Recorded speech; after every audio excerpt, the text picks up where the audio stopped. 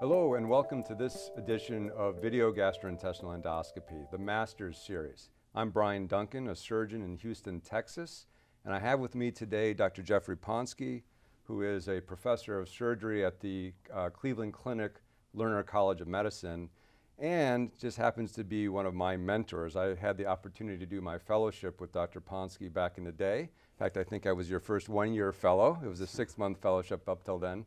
Must have been a slow learner. um, and uh, we're going to spend some time together learning about uh, Dr. Ponsky's um, path in, uh, in endoscopy. Uh, so welcome, welcome Thanks, to the Brian. edition. It's pleasure to talk to you. Yeah, it's, uh, it's nice to have you here. I thought we would just kick things off easy and start a little bit with your background. Just, you know, kind of uh, born and raised, a little bit about your family, kind of maybe even take us up through your schooling until uh, through medical school kind of thing. Well, briefly, I was born in Cleveland and really never left. Uh, in high school, I was uh, somewhat almost a delinquent. I was told not to go to college by my unit principal because I was always in trouble. So he says, save your parents some money. and uh, I Class clown? Why, why were you in trouble? Well, I was uh, uh, doing a lot of things, cutting school and going out with girls to the beach and shouldn't have been doing things like that. ah, but uh, went to Miami of Ohio in Oxford, Ohio, and really decided I was going to be a doctor no matter what it took. I suddenly was inspired. I had a role model. My mother's brother was an, an internist in Cleveland who I thought was a god, mhm. and he was a wonderful role model. I wanted to be just like him. And so I studied very hard at Miami and really did well. I was very fortunate that that was a great school and uh, encouraged me. And I went to Case Western Reserve School of Medicine, and I did very well there. I mean, it was I was very paranoid that I wouldn't do well, so I worked very hard, and uh, was able to do well. I was an AOA, and and uh, I got some honors there. And then I did my residency in surgery at Case Western Reserve University, mhm. and uh, that's the story. And why surgery? You had a mentor that was So an a, internist? a yeah. very good question. During my uh, college years, I had no money. We've had very little money growing up, and I worked every summer. And uh, my uncle, who was the internist, uh, got me a position at a Mount Sinai hospital in Cleveland to be an orderly during the summer. After the first year, I became an assistant in surgery, a second assistant, and a scrub nurse. I was a terrible scrub nurse, but I was a pretty good assistant, and they let me sew closed bellies and do things like that when the head nurse wasn't looking. And so I was very technically able by the time I was in medical school and found that during my clerkships I was a, a star at doing the technical aspects and wanted to be a surgeon to emulate the people I'd worked with then. Yeah.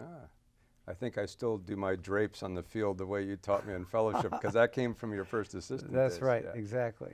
So you so you go and you do your surgery residency training at Case, and um, my guess is that endoscopy was not part of the typical surgery training at that time. So tell me the story about how you got exposed to and then interested in endoscopy. Well, it was 1973. I was uh, a third year PG three uh, in in surgery, just finishing it, and during that time, uh, you were allowed to have some elective, and elective time was even more flexible then. Uh, we were on call every other night. It was a brutal residency uh, in surgery at that time. And I looked around for something to do to sort of take the steam away and to relax a little bit. And I happened to be walking through the ICU and I saw the gastroenterologist trying to do endoscopy. It was sort of new in those days. They were using an old ACMI scope that had a joystick like this. And I said, you know, I, I might just try to do that during my elective for a couple of months. It'll be easy, no night call, easy. And so I called the Department of uh, Gastroenterology and talked to someone junior there, and they said, sure. A week before, bef- uh, before this was supposed to start, and this was supposed to start in January of 1974, um, exactly 45 years ago. and I called up, and the chief of gastroenterology answered the phone. This is a case Western Reserve. And he said, Look, we're not going to train a surgeon to do endoscopy. Period. End of conversation. So I went back and told my chief of surgery then, Charlie Hubay, and he said, Jeff, that's terrible. He said, I happen to know a gastroenterologist who's in private practice in Canton, Ohio, which was 60 miles from Cleveland. His name was Jim King, and he had a partner, Jerry Smith, who hmm. trained with Worth Boyce. And uh, they were very anxious. They were doing a huge volume of endoscopy at a place called Timken Mercy Hospital. It's now called Mercy Hospital. And he wanted to train somebody. He was so anxious to train someone and said, Sure, come on. So every day for six months, I drove to Canton and came home from Canton in the evening. And I was exposed to not just endoscopy, but the latest in medicine. Jim was like electricity. We would talk about all sorts of medicine and the basics of gastrointestinal pathology and pathophysiology. It was an unbelievably electric experience. By the end of that time, I had done almost 500 endoscopies. I spent four months. And I'd done almost 500 endoscopies. So I came back to case. It was now the new year. I was a PG 4 Mhm. now. Mhm. And I said to the chair of gastroenterology, I would had this experience. I would love to help train your residents in endoscopy. I work here at the VA during my spare time. I would love to be involved. And he looked me and he said, You will not touch a scope here. No surgeon's going to touch a scope here. So I went to my chairman, Mhm. who's named Bill Holden, wonderful man. And I told him the story. He said, Jeff, I sympathize with you. He said, but I don't have any money right now, June of 1974. He said, I don't have any money to buy you a scope. He says, if you wait a while, maybe, but I don't have money now. I understood. And so a little time went on. I was quite frustrated. Actually, as I rotated to the VA, I was able to use the surgical service, had a colonoscope, and I used it a little bit. But I wasn't doing much. And then I was at a holiday party, almost Christmas time, 1974. And I was telling this story to my brother in laws and my mother in law just as we were sitting on the couches. Uh-huh. And my mother in law called me the next day. I was on call at the VA hospital. I was in the on call room, and she said, Go buy yourself a Hanukkah present. Go buy that scope. I said, Are you sure it's $5,200? She said, Go buy the scope. I bought that scope immediately on the phone that night. You just call up the company and say, All I "Send knew me one of it was. Arnie Huffman, who was the, uh, the uh, Olympus rep at that time. Was- Uh-huh. I went to high school with him, and uh, he sent it out right away. And I kept that scope in my car, Gastroscope. gastroscope, Mm-hmm. GIFK, had a 30 degree angle on the end of it. Ah. And I got the permission to do it on surgical patients. And the G- Dr. Robert Zollinger Jr. was my attending. He said, I'll come in with you for every case and sign the papers, and maybe you could teach me a little bit while you're doing it. And we would take every case, and then all of a sudden, the internists started calling, and the pediatric surgeons started to call me. Bob Izant, the chief of pediatric surgery, he sent me all the endoscopy. By the end of two years, I had finished my training and I had literally taken over GI endoscopy for emergencies at the hospital. The private internists were calling me to come in for bleeders because I would come right away. Mm-hmm. And they hired me on as the uh, head of surgical endoscopy, unheard of position at that time, in 1976 A case. A Case. ah. And I joined the faculty there as assistant professor.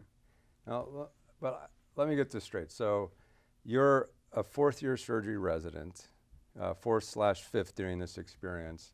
You've got a scope in the trunk of your car. and if there's an emergency case to be done, endoscopy, you're getting paged, and you run out to the car, get the scope, do the procedure, disinfect it afterwards, and put it back in the trunk. So when I was working at the University Hospital, I left it hanging In a- the- in the a- unit. In the unit. There was no unit. In the, the littlest, smallest OR they could find that Uh-huh. nobody else used, it was for sigmoidoscopy. That was my endoscopy room. ah, okay. and you gave your own sedation. I'll tell you about when we started ERCP and how that was. But Yeah. we would do all of this, and I had the scope hanging there, and there was no disinfection. It was green soap. we washed the scope with, we didn't wear gloves, Yeah. even for colonoscopy. I hate to tell you, we didn't. And we used to wash the scope with green soap and hang it up, green soap and hang it up again. Yeah. And uh, there were no washing machines or sterile, uh, high level disinfection then. Yeah. Yeah. And I don't know if it made much of a difference either, but we did it. Yeah. And I used that scope, and then in 1975, a year later, Mm-hmm. in the end of the year, Dr. Holden, the chairman, called me in his office and says, I just got you a $5,000 Cancer Society grant that I can pay you back with for buying your scope. I said, Thank you, Dr. Holden. I didn't call my mother in law, I called Olympus and send, send me a duodenoscope. Shrewd. So that yeah. paid for my second scope, which was a duodenoscope.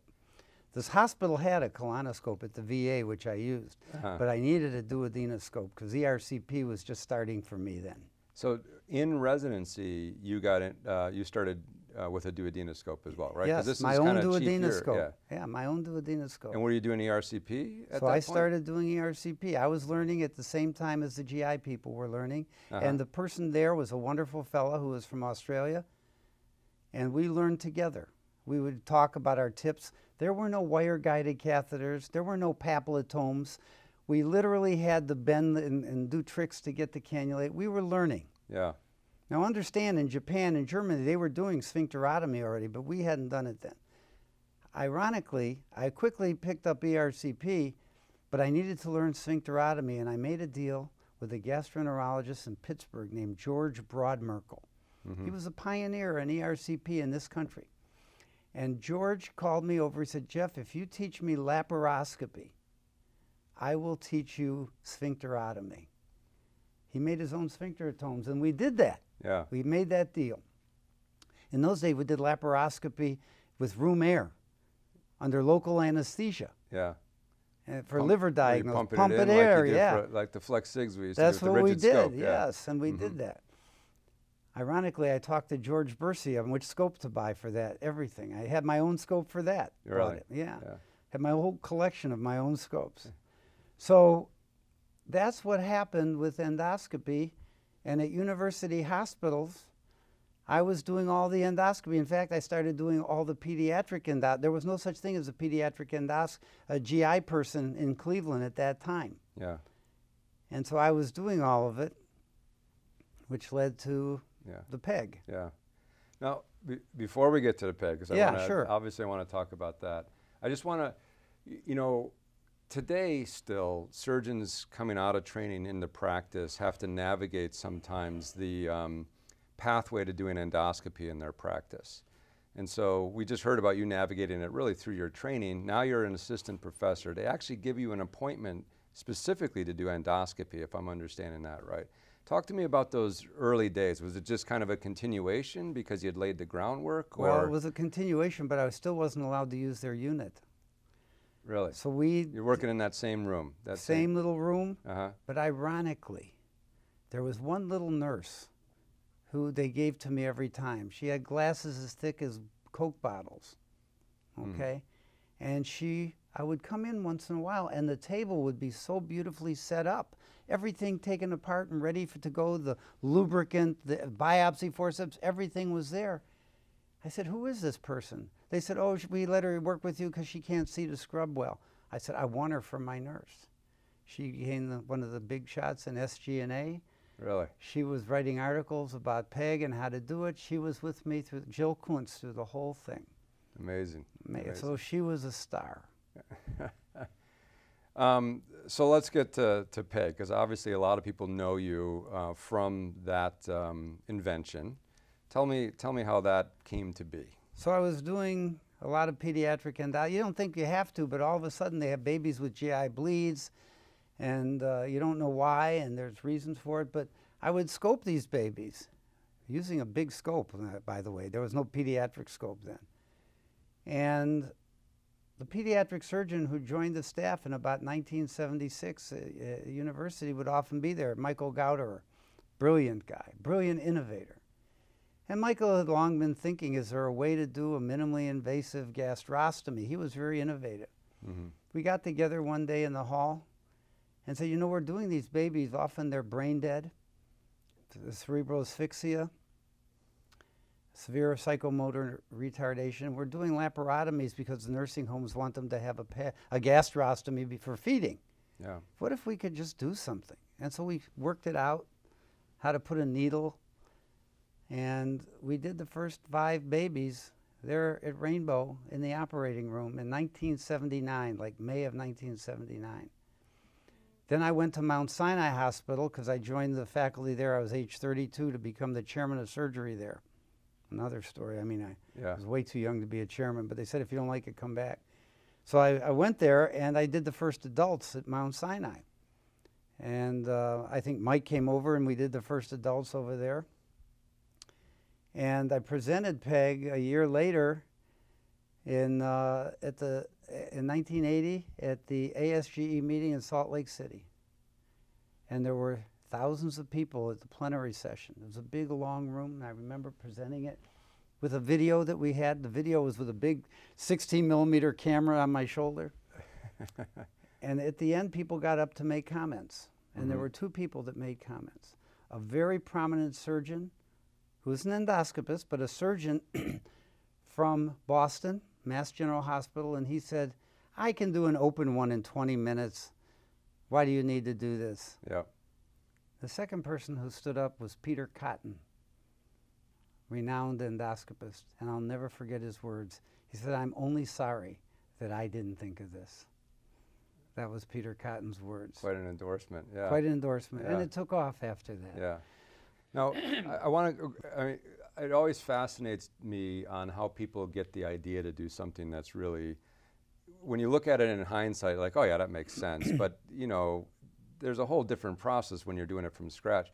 You told me this story at one point where you guys were kind of um, intrigued by how well you could transilluminate. Is that is that part of the well, story? Well, that's really part kids? of the story. Yeah, yeah, yeah, we shut the room lights off. These babies were this were this big. They were yeah. tiny, and the light shone through their belly, and you could push on the belly. Mike would push on the belly, and we see this big indentation. We say we're only a couple millimeters away from each other. Right through that.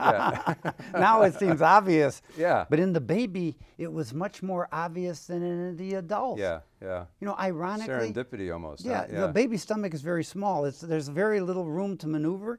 A peg is harder in a baby than an adult. You have this big room to do it in. Yeah. But the transillumination in the baby was very good. Yeah. So we were very fortunate. Serendipity worked out in that yeah, way. Yeah.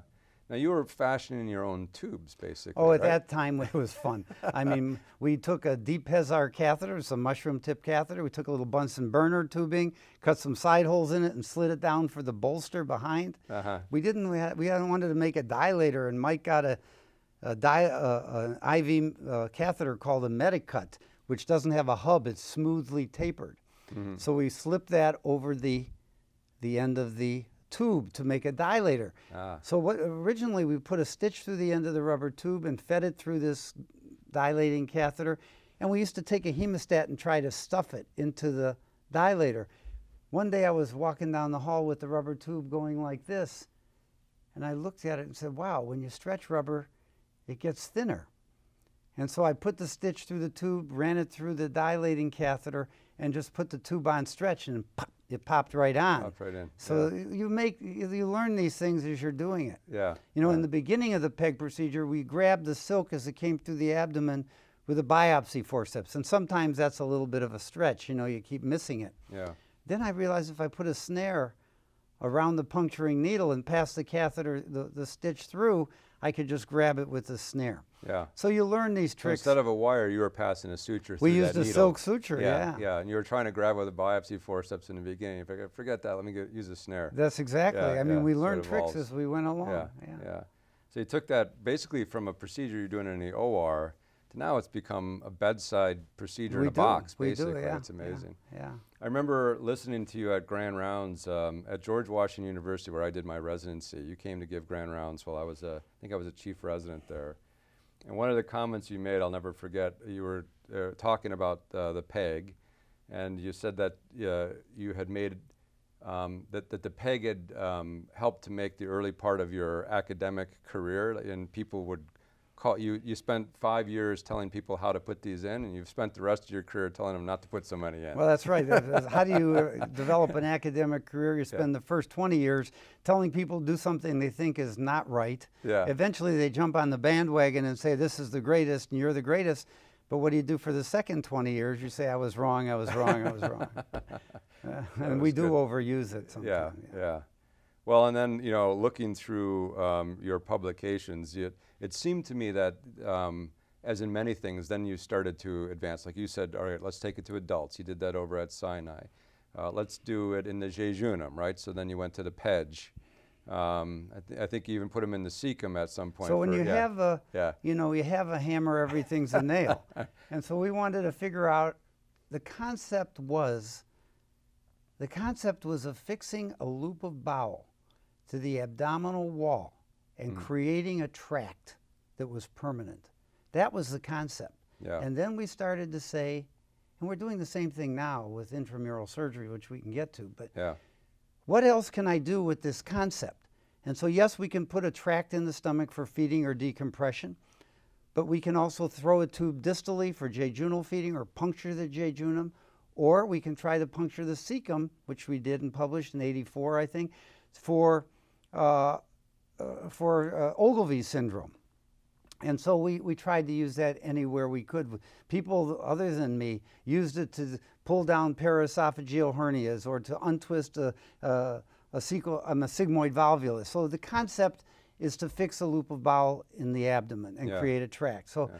that's what we really did. I mean, the PEG was the first example of that. And uh, I would say that that innovation uh, sparked my career.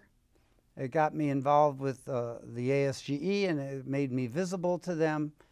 And uh, that was the beginning of a lot of things. Yeah, yeah. Uh, so uh, let's talk about that a little bit, your, your career, your academic uh, career. Actually, there's two things I want to cover. One is your progression in academia, because you've shared stories with me in the past about kind of your thoughts in going to a meeting and not wanting to just go to attend, like you want to be uh, present. So I want to talk about that a little bit. Um, but I also want to talk about your time at Sinai because that's I, I had that's when I had the opportunity to do fellowship with you. It was to start at Sinai, and I uh, had the impression that that was a special group and a special time for you that, around innovation and development and just fun. And uh, so I want to hear about both of those things. So let's start with the academia uh, bit a little bit, if you don't mind, and kind of walk me through how you've progressed in your academic career. Well, it's, it, it's it, when I was at Case Western, I was raised as an academic surgeon. And I was uh, joined the staff as an assistant professor. And I was taught that you had to publish and do research. And I did laboratory research, but I wasn't very good at it. I always gravitated toward animal projects where I could measure the results of an intervention and usually in a whole animal, mm-hmm. which uh, became less and less popular as laboratories became more developed. Um, and I used to, I always tell this story too, that I would sit in my office at the end of the day, and you've heard this, and I would look around at my partners, and they were, it's five o'clock, they're all reading their journals. They're all done. They're reading their journals. And I would say, I want to go home. my family's at home. My kids are there. I want to eat dinner with them. So I would put all my paperwork and everything in a paper bag. And I'd sneak down the back stairs, one flight, and then take the elevator from there, get to my car and go home. And we'd have dinner. And then we'd put everything on the dining room table and have study hall with my kids. Did that every night. If I had to go back, I went back. Mm-hmm. That was mixing your personal life, which I think is more important, and your academic career. So yeah. we did that. Yeah. So, so everybody's doing their homework at night. Yeah, including and me. kids get to see, hey, this homework thing seems to continue. Dad's got his own homework too. But it was fun. we had laughed, we yelled, we I yeah. scolded the kids. Your buddy Todd, my son, used to get sent to his room for screwing around too much. A chip off the old block, yeah, apparently. Yeah, but it was it was good. Yeah, yeah. Anyhow, so I then I got asked it was really interesting. The chairman of the Department of Surgery was an interim chairman, a cardiac fellow. And he got called by Mount Sinai Hospital, which was across the street and affiliated. And he's, they had their own residency, it was separate. He said, These guys are driving me nuts. He said, it's a Jewish hospital, and, and, you know, and they can't get along over there. And these guys are all every day, year they have a new chairman. They can't make it work. He said, listen, do me a favor, go over there and be the chairman. You're a good teacher, and the, you're a good clinician. Just go over there and be the chairman. I was three years in practice. I was 32. You're said- still an assistant professor? Yeah. I said, Are you kidding me? He said, Please do me a favor. If you don't like it, you can come back. The board of the, the chairman of the board there took me out to dinner and this and that. I said, I said to my wife, I don't want to do this. Then the next board chairman came and saw me. He said, Please come. Everybody was against it. And my wife said, Give it a shot. So we went over there. My mother in law said, Give it a shot. This, your mother-in-law, not Yeah. the aunt that got you the no, it was scope. my mother in law who got me the scope. Oh, okay. So her. the same mother. Same this is mother-in-law. an insightful mother-in-law. She was magnificent. she was an angel. Anyhow, I went over there, and it was the best decision other than marrying my wife I've ever made. I I had the opportunity to learn to build an academic department, and they gave me the resources to do it. We had a wonderful laboratory. I built a full time staff of 11 people in general surgery, in cardiac surgery, and vascular surgery.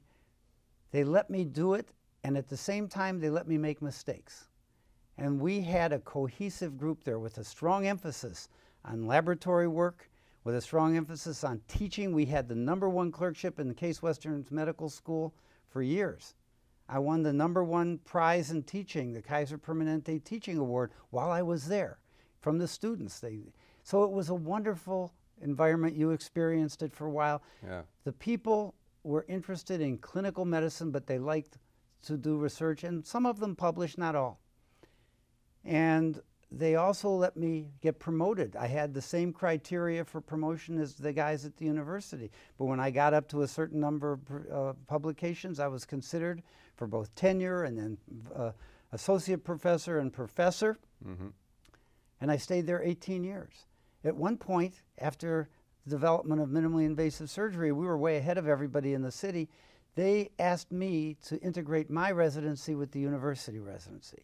And we did and it was a wonderful place. It got in the into the war between two giants, the university and the Cleveland Clinic. It couldn't survive that, and it was sold. And I saw that was going to go under, and the clinic recruited me away. Yeah. But it was a, a passage in time of a hundred years that that organization lived. That was a marvelous hospital. Ironically, its endowment still goes on today to do good works. It's called the Mount Sinai Foundation in Cleveland. But that was a special time in my life. Yeah. Yeah. It, it definitely had a feeling of a very coherent and special group that was there. And while I was there, I was involved with the ASGE, Mm-hmm. and SAGES was born. Mm.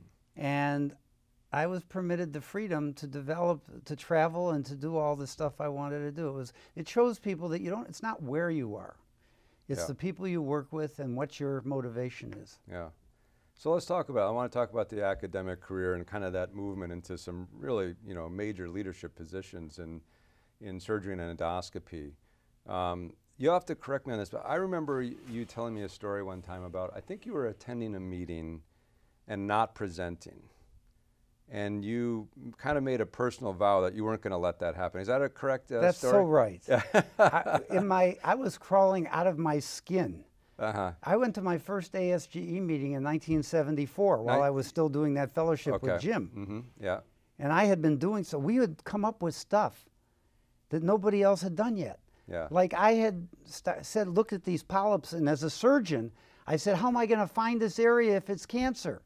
And so I looked up the surgically. Yeah, literature yeah, mm. on Basil Morson, and he had been painting the inside of the colon with India ink to see that nobody had injected India ink. So I bought the only thing I could afford then, which was an injection needle. Now they're disposable. I had this one needle. It's the same needle we use now, but it, was reusable. NM1K it was called, and we injected India ink that I got from a bookstore, and into the wall of the bowel. And I went to follow this patient to surgery, and we wrote it up, So 1975. tattooing. That was that was the beginning of tattooing. Yeah. That was the beginning. Mm-hmm. So I'm sitting at the meeting and they're talking about this problem, and I wanted to go, ooh, ooh. but I, I wasn't presenting at that first meeting. That didn't happen again.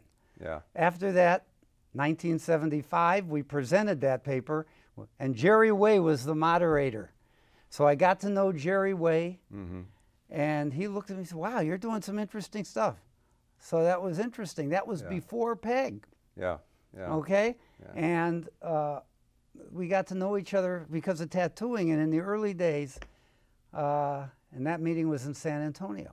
Mm-hmm. You never forget these meetings, but I was not going to sit in a meeting and not present because you wanted to be a part of the team. Yeah. Yeah. It made the yeah. meeting so much more part fun. of the club. Yeah, that's Yeah. good. That's neat. So, um, so you started early, really getting onto the podium for some of these uh, meetings. Um, I do want to walk through that a little bit, but um, uh, I have to talk a little bit, at least, about the laparoscopy and SAGES. Make a little diversion that Okay. way, because um, you you were ascending in two major organizations, ASGE and in SAGES. And, and SAGES was an interesting group of surgeons that wanted to do endoscopy like you did, but then this laparoscopy, this lap chole thing comes along. So And you had, were in a pretty interesting position. Oh, I was in a great position. Yeah. What happened with Sages? I was already on the on the major committees of ASGE in the mm-hmm. early '80s, and they wanted to include the surgeons and Mel Shapiro and Jerry Waye and some of these guys got me on the committees, and I was involved. And then all of a sudden, I got a call from this group of surgeons, early '80s. 1981 or so, they wanted me to be involved in this new group of surgeons who were unhappy with ASGE and wanted to do their own thing. At first, I wasn't so sure about this. So I went to them and I said, okay, I'm going to be a part of this too. And we started to have meetings in the mid 80s. And I suddenly, a light went off over my head. They weren't talking about the same things at all. They were talking about different stuff. How you use endoscopy to influence a bowel obstruction, how you decompress a dilated colon, how you evaluate an anastomosis. It was all different stuff. Hmm. I said, wait a minute, surgeons aren't talking about the same thing as the gastroenterologist.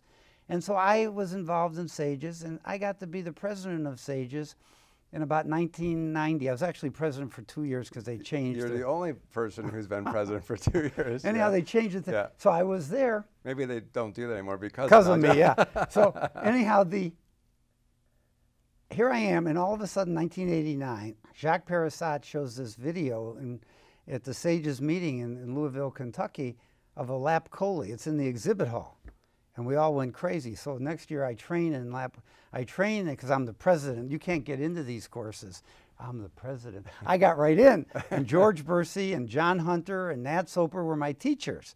We learned to do lap chole, hmm. but I was on the wave because at that point Sages had 300 members when I was first president. By the time I was done, it was 2,000 members, and lap chole and laparoscopic surgery did that. Amazing. So I was lucky to be in the right place at the right time. Yeah, really innovative time. And it really, in parallel, you're rising in ASGE as well. In fact, when I was your fellow, you were president of ASGE. So ASGE is a meritocracy. What it meant was it, there are some very prestigious organizations where they call you up, you sit in the audience, and they say, and now we nominate Jeff Ponsky to be vice president. You, you, I, I didn't do anything for this organization, Yeah, but you, you're recognized and you, they respect you and you're the president. That's how they do it. yeah, That's fair yeah. but not the ASGE. The ASGE, you earn your way up. I was on the membership committee, then I was the chair of the membership committee, then I was on the uh, governing board, then I was a treasurer of ASGE. You work your way up. Yeah, 20 years on the board of ASGE. Yeah, And finally, I got to be the president of ASG, And there weren't many surgeons who were president of ASG. how, how many up to that point had Two. been surgeons? Me and Ted Schrock. Okay. mhm. So you're the second surgeon to be president of ASG? Yeah, I believe mhm. so. That's Yeah. right. And then the highlight of my career probably was the number of 2002. I was given their highest award, the Schindler The Award, Schindler Award, that's which right. I just sort of went, "Oh my God, that is the most prestigious award I have on my on my wall because." It meant that I was recognized as an endoscopist who'd made a contribution by the people who most do endoscopy. Mhm. It was mostly gastroenterologists, so that was a very warm award for me. Very good. I also got the Berci Award from Sages, which is a parallel award in the surgical Yeah. endoscopy field. So Yeah. those were the two highlights of, of, in awards. That's amazing. That's amazing. So I, yeah, I don't I, I don't think um, a lot of members of ASG might have, might have remembered that history uh, of surgeons being involved really at that level of, of leadership. And I think it's a perfect example of um, you know, the opportunities for uh, cross-specialty collaboration really around endoscopy. There is a tendency for people to be protective of their specialty. It's because of economics in most cases. When surgeons and gastroenterologists work shoulder to shoulder, there are tremendous opportunities for advancements. And in the terms of the governing board of ASGE, when we worked together, we had great fellowship and great opportunity. I think from time to time you find that people forget that. There's a tendency to keep bringing on the same people who you trained with or you know, and you almost have to become uncomfortable enough to invite other people into the party a little bit to make it better. Yeah, yeah. So I, I think an example um, of really excellent collaboration was around the early notes days and the whole NOSCAR formation. Um, another wave that you were a big part of, uh, let's talk about that a little bit. Like the first time you were introduced to notes, some of your thoughts about it. And I know you and your lab and the people in your lab really did some So work to try to advance the understanding of that concept. Yeah. Yeah. So the way notes actually started is that there was a wonderful laparoscopic surgeon who was doing a lap chole with needlescopic instruments, which were two millimeters, even hmm. the telescope. And so he very carefully used a needle to dissect out the gallbladder and he hand tied the, The suture duct, yeah. around the cystic duct and the cystic artery and cut it with a little tiny scissors, two millimeter instrument. But how was he to get the gallbladder out? He made an incision in the stomach, dropped the gallbladder in, sewed up the stomach, and reached in with an endoscope and took it out. That was never published. It was really not something anybody wanted to publicize, but people heard about it. And then Tony Kalloo, you know, and Sergey Kantsevoy in 2004 at uh, Johns Hopkins lab published cases in animals using the eagle claw with the Apollo group. They developed it, and they did this uh, gastroenterostomy, which got people so excited. Yeah.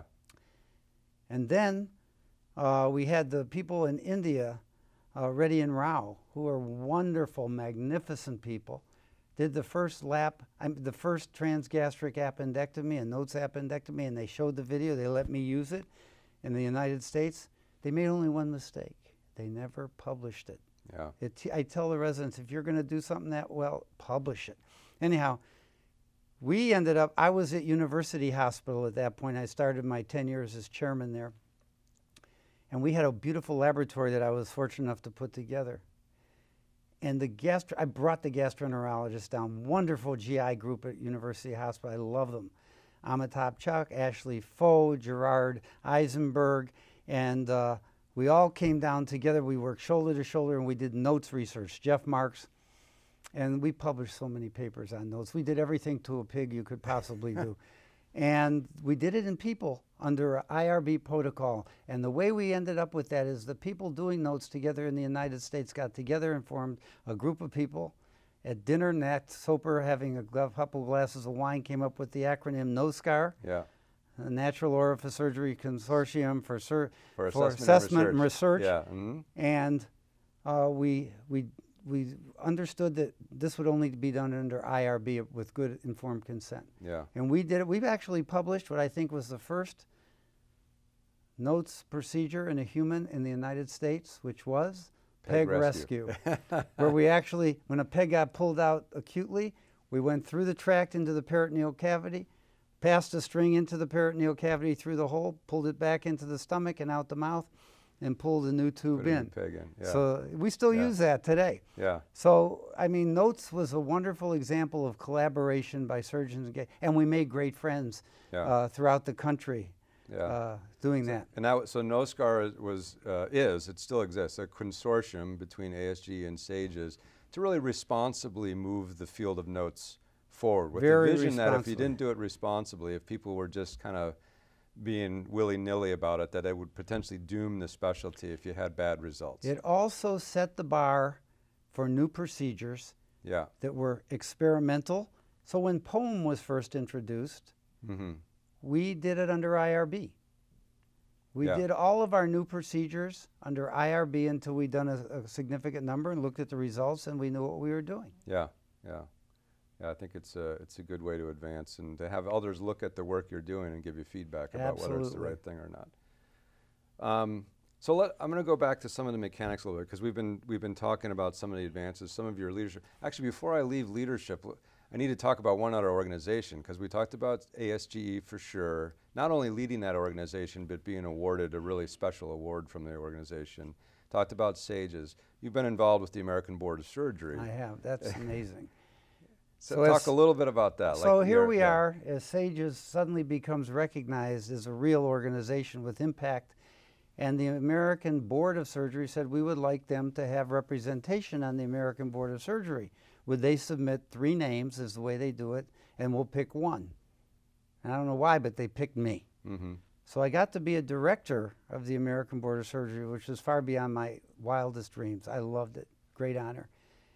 And then one day, they called me up and they said, "You've been selected to be the ch- the uh, chairman of the American Board of Surgery. You have to be on another year." I went, "Are you kidding?"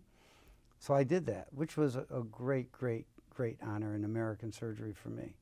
So uh, I've been as lucky as anything else, and uh, been blessed to be around good people. Yeah, amazing experience.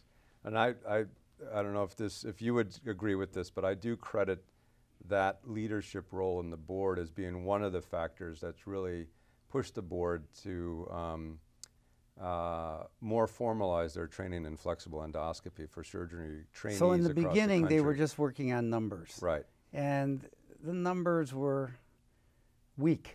Yeah, Just numbers were weak. There had to be more, and thanks to the efforts of you, Jeff Marks, and Sages, there are courses now. There are uh, are objective measures of advancement and success, and every resident who finishes surgery today has to have the training in flexible endoscopic surgery. yeah, And so FES exists. Yeah. And uh, listen, it, it was nice. The American Board of Surgery was willing to use uh, the information we gave them. yeah.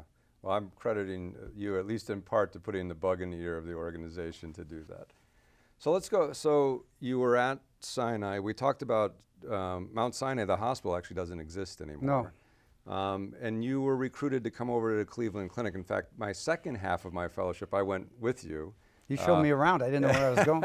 we used, yeah, I used to find the different pathways, and then and then we'd go there together. Um, talk about that a little bit. The difference between Sinai and the clinic. Um, I remember you coming in with, um, in my opinion, at the time, as a trainee under you, a very humble um, attitude about joining this organization, and then I've seen you, you know, rise through that organization. So let's talk about that case, and then Cleveland again. I a little think anytime you go to a new place, it's a good idea to realize that you're new and you have to learn about them. The Cleveland Clinic is a long-standing and magnificent organization. And although it may look like they do exactly the same thing as you do at other hospitals, they do other things. They have some of the uh, most high acuity patients I've ever seen. They really do. And so you're into a different realm. Also, because there's so many people with excellent skills, you become a little bit pigeonholed. So my old career of doing colon surgery, breast surgery, endoscopy, and all sorts of other things became more aligned with endoscopy and foregut. And that's what you were with me there doing. We did a lot of paraesophageal hernias and Nissens, as well as doing tremendous numbers of ERCP and endoscopy. And it was a very productive time for me. Yeah. And uh, they had great resources, and uh, it, it wasn't the same warm, fuzzy place that the little hospital was, but it was a place where I further matured, I think. Mm-hmm. And how long were you there? Because I was there for eight years the Uh-huh. first time, yeah. yeah, and then you were recruited home. I was recruited to Case Western to University Hospitals Yeah, to and be, to in be the Cleveland. chair of surgery. to be the chairman of the Department of Surgery at the Mhm. university and the hospital. And it was a great opportunity there because we built a great department there. We modeled it a little bit after both places. I modeled it after, I wanted the clinical excellence and renown that we had at the clinic, Mhm. and I wanted the warm, fuzzy personal feeling that I had at Sinai. And we were able to do that because of its size and scope. Yeah, It was Yeah. a very good department. And um, lessons learned from uh, your time at Sinai versus uh, going back to be chair at Case. A little different level and well, different whole, type of the institution. world is a different place. Yeah. At Sinai, era, I didn't even know what the budget was. Yeah. We never even talked about RVUs. There was no such thing. You just worked and worked and went home. Of necessity, the world is different. We talk now about budgets, hmm. clinical productivity. At the end of my time at Sinai, it was starting to happen. And I would ask for, let me a KTP laser, get me a Holmium laser. And they would say, Do you know what the return on investment is? I said, I don't know what the heck you're talking about. So they sent me to get, they paid for me to get an MBA. I was the stupidest kid in the class. But I learned the lingo and I understood how investment decisions were made and mm-hmm. how you had to justify them. So I would tell anybody now going into a leadership position that you can't just wing it. You have to understand what the other fella is going through, what the people in leadership have to do to make the budget work. You have to understand that as much as you like the next guy, he has to justify his salary and, and make it at the same time. That shouldn't be done coldly. You should look at the people who work for you and understand. And I used to say this when you drive down the hill to the clinic to the university hospital every day, I know you're not thinking about how to make this place better. I know you're thinking about how to get enough money to send your kid to private school and how to pay for camp. And you had an argument with your wife today and how you can fix that. Everyone's got those personal problems, and I used to meet with them in their annual professional review and say, How can I help you to make your personal life better? So we used to have faculty enrichment seminars, and we used to do things that made life a little bit more personal and better. I think you have to do that in any business that succeeds. Yeah, yeah. Balance the realities of um, the, the economics, and uh, but but don't lose um, don't lose the people. Don't lose the. well, mission, at the end of the day, and you know, you become philosophical as Yeah. you become older. Uh-huh. Not that I'm older, but I'm older. and you look back at your life and say, what has been the greatest things in my life? And it's not your career. If it's your career, I feel sorry for you because your personal life is really a bigger part of the pie. And if you stood back, and they always say this, if you could paint the picture of your life ahead of time, how much of it would you want to be the career, and how much would you want it to be the rest of your life? Mm-hmm. And I personally feel that my family and what I've got with that far exceeds what I've done in my professional life. They complement each other. Yeah. Yeah, and I've got to spend some time with your family and, and your kids, and um, it's a special group. I've, I've learned from you about, uh, uh, about some of the parenting things. In fact, sp- speaking of family, I have to hear, I don't know if I know this story about how you met your wife and, uh, and, and uh, how you got together with Jackie. Well, so Jackie lived around the block from me, but I never knew her until I graduated from college. Okay. And so so- another Ohio, uh, Cleveland person born and raised. Right, born and raised, but around the block. hmm And uh, she went to the, the more affluent school than I did. She went to Shaker. I went to Cleveland Heights High School. And so one day, I had a mutual friend with her, and she was over there, and I went over the house. I went over because I heard she was there. I wanted to see who she was, and she was sort of cute. And I said, "Would you like to go out on a date?" And she said, "I'll let you know." And so she asked our mutual friend. She said, "Should I go out with him?" She said, "Well, he's not the kind of guy you'd want to marry, but he's a lot of fun." And to this day, Jackie will say it's the opposite.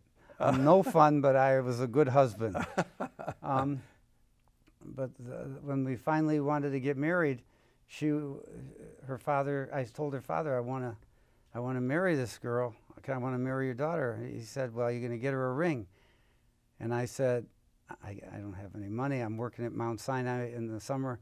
He said, Well, what are you going to put away this summer? I said, Well, my uncle gave me $100. I'll have $600 by the end of the summer. He said, Go with my wife to this jewelry store and pick out a ring. You got to put a ring on her finger.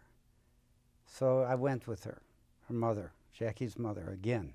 His mother-in-law is coming through from the beginning. from the beginning. so we go to the jewelry store and we're looking around, and he says, "I have some estate jewelry. Says, Here's a stone. It's an emerald. It's a small one. It's a nice one, and I'll put two little diamonds on a simple band, and I'll give it to you for six hundred dollars for your six hundred dollars." Okay, and that was it. That ring I gave to Jackie. Ten years later, I'm a little more sophisticated. I'm now the chairman of surgery at Mount Sinai. And her father was already dead. And I looked at that ring, which is a one carat emerald. I went, oh no, something was really wrong. I called up her mother. I said, This is nonsense. This ring didn't cost $600. She started laughing. She said, No matter what you picked out, it would have been $600. that was the price that day. that was the price that day. amazing, amazing.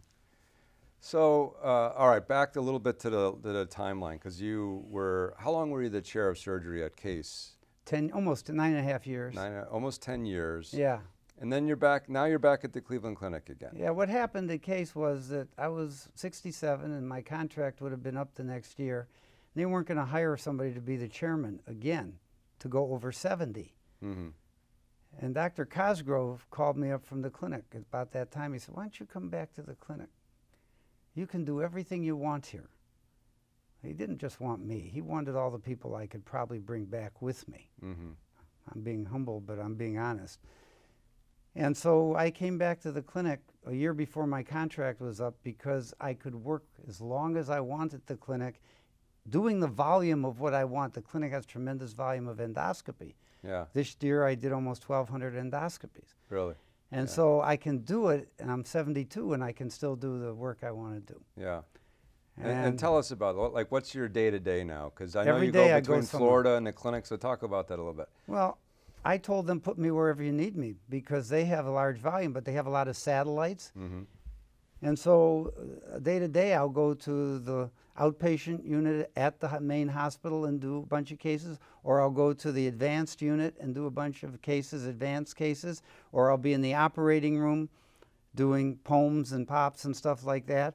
And then I go to the suburbs once a week or twice a week as well because they have a big backlog, and I'll do simple uppers and lowers there. Yeah. But then once a month, I go down to Florida Mm-hmm. and I'll fly in. I'll get there at 9:30 in the morning. Go down to the clinic. Get The this- Cleveland Clinic, Florida. Cleveland Mhm. Clinic, Florida, in Yeah. Weston, and I'll start to work with GI down there, and we'll do end- advanced endoscopy on Friday. Saturday and Sunday I'm off, and Monday I work all day. Tuesday I work all day, and I take a nighttime flight back to Cleveland Tuesday night and work at the clinic on Wednesday. So I get a weekend a month in Florida. Yeah. So really, your practice right now is exclusively therapeutic endoscopy. Exclusively Yeah, yeah. endoscopy. And that's my dream. That's what I wanted to do. Yeah. I stopped amazing. doing surgery two years ago when I was 70. Uh huh. It's something, it's a loss, Yeah. but uh, I've done it for 40 years and that was enough. Yeah. And certainly aren't slowing down at. at No, uh, I'm, I'm 1,200 keeping going. cases, My wife uh, doesn't want me at home because my hobbies cost too much money. Well, I think one of the other things that I admire about you and your career is that um, it's never stagnant. So um, let's talk a little bit about where endoscopy is going because you've been part of that as well. This this um, intramural surgery, starting with peroral endoscopic myotomy and and then others. Tell me about your experience, how you got into that, and, and where do you see this going? well, I, you have to give credit where credit is due. Jay Pasricha in the United States and Silvana Perretta and the people at IRCAD in France uh, conceived in the era of notes of making a tunnel in the wall of the esophagus to get into the peritoneal cavity so that when you came out there wouldn't there'd be a flap valve and it wouldn't Wouldn't leak. Yeah. And on the way, they said, gee, the muscle's there. What, what if we could cut this for achalasia? But they never did it. Why? Because it took a surgeon, and the, the people in France were surgeons, but it was done in a human first by Haru Inoue in Yokohama. In about 2004, I think. Uh, yeah, it might have been a little bit later. I think 2007. Well, he published into yeah. So you might be right. no, have been 2007 or Yeah, so. yeah. yeah. hmm So uh, Haru did it, and then the first people I knew in the United States doing it were the people at Northwestern, uh, Nat Soper and Eric Hungness. Mhm. And right away, Eric, I called him, and Jeff Marks called him, and we had him come, and he taught us in the lab, and then we did two cases in humans, and we with him proctoring us, and that was it. And that was probably seven years ago, and we've been doing it since.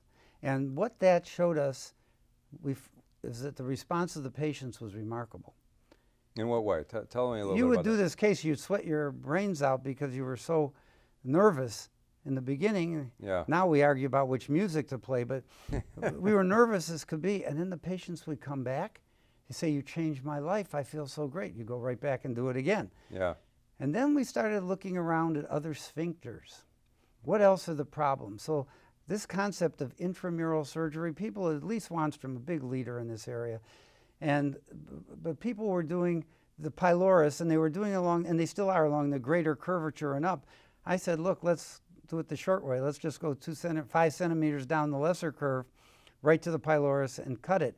And it's worked that We've done over 300 cases at the clinic.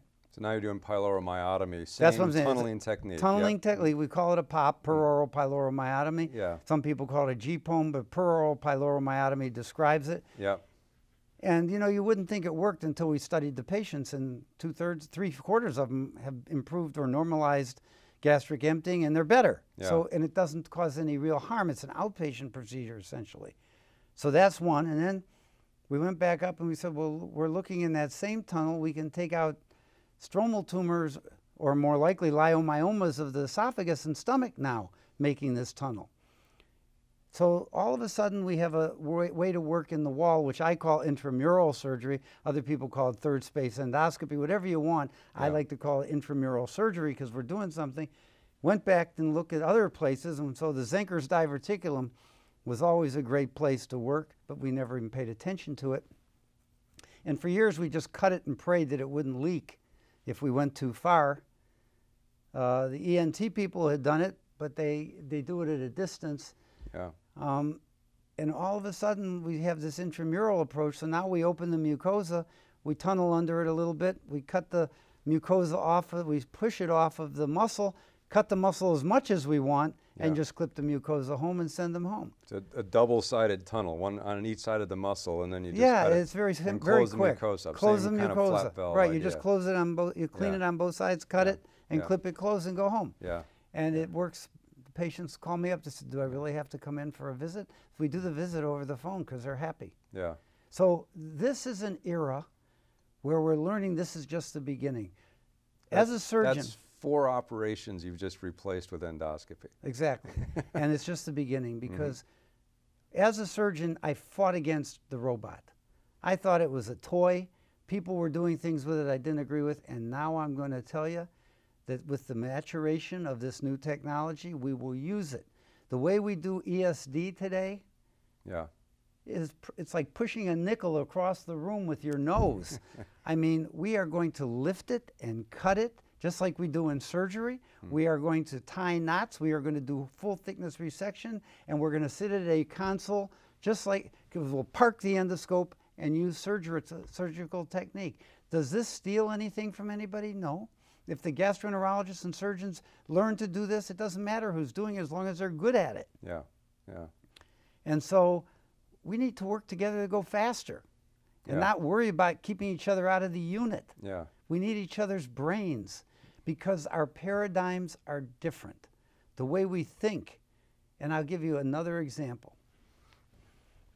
If you're doing, I was doing a gastrostomy the other day, and the patient had a very tight uh, radiation stricture of the esophagus. I could only get a tiny scope down into the stomach, and we could see where to make the peg. We could get a needle in Yeah.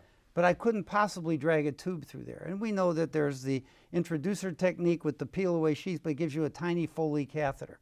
So we used another technique that we described the years before, but I used it the other day.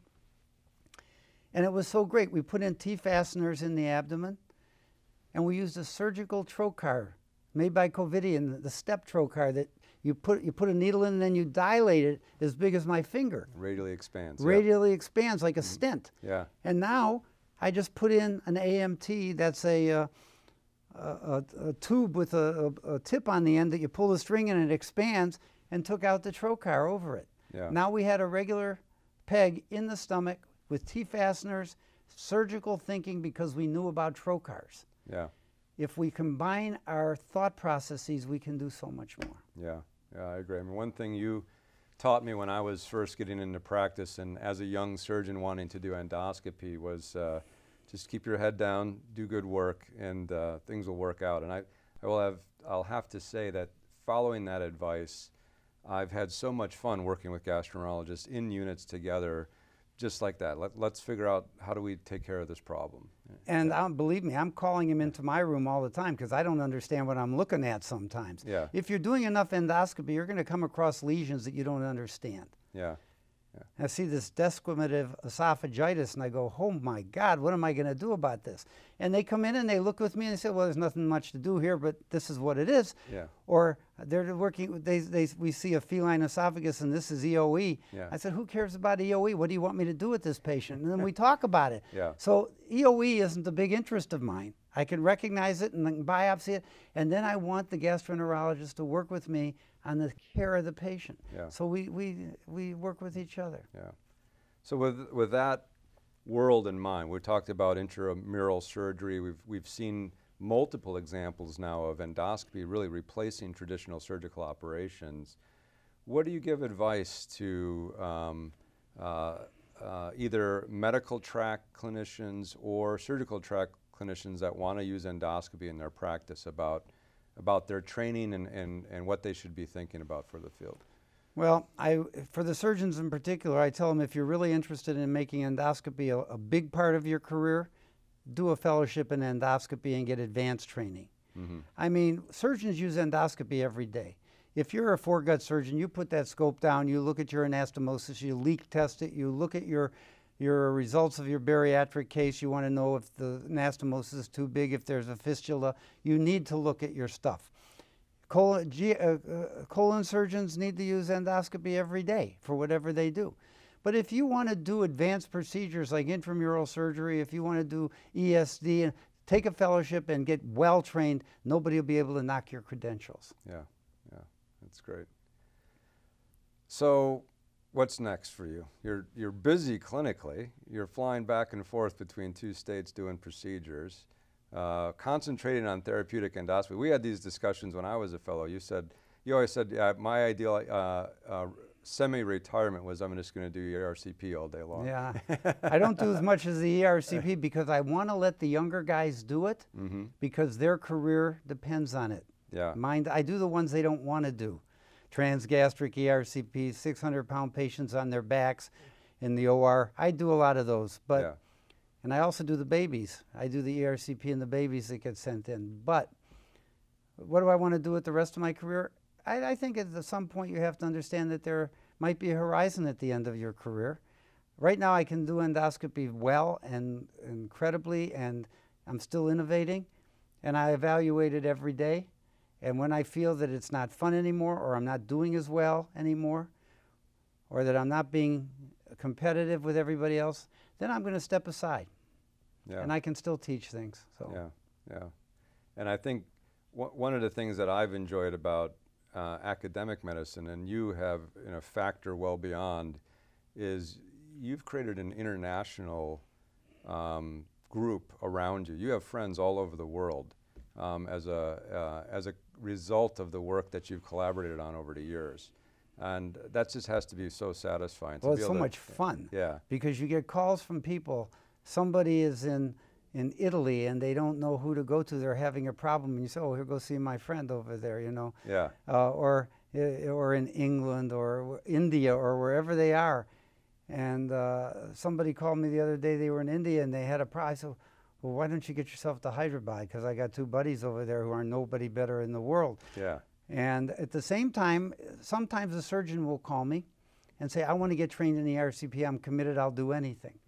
I said, We'll see how committed you are. If you go to Hyderabad and you work at the Asian Institute with those guys, they have a high volume. You should spend several months, at least several months, doing it. Or go to Chile with, uh, with uh, Navarrete, yeah, you know, and uh, let Claudio Navarrete teach you over there because there's a huge volume.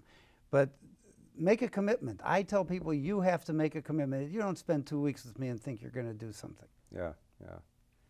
Last thoughts before we bring things to a close here. Anything you want to share with the audience? Your thoughts uh, from your perspective. in your Well, life takes you on a journey that you don't always expect. That opportunities come by and they look like they're not important, and suddenly they can slingshot you to your whole career, your whole life. And that's all fun and good. But when you evaluate your days, you should plan on how you want your life and that portrait to look. That's really what's important. Yeah, Well said. Well, that brings this edition of uh, Video Gastrointestinal Endoscopy, the Masters Series, to a close. I hope you've enjoyed it nearly as much as I have. Thank you so much for your time. I really enjoyed the stories and the perspective. And um, have a good day.